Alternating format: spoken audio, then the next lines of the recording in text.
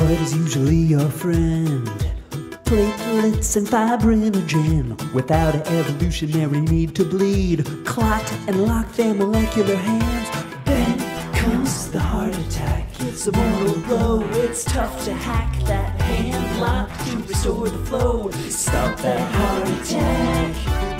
Platelets attached to a tear on the wall, volumen inside a blood vessel. Fibrinogen sticks on like glue. It repeats, it repeats until you're through. Unless you can put your mittens on, it's a change in molecular conformation.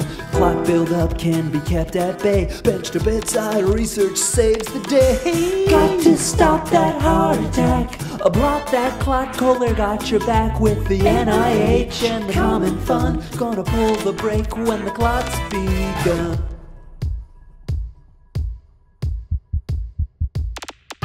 Got to stop that heart attack. A mortal blow, it can't hack that stop the that stops the flow. You can stop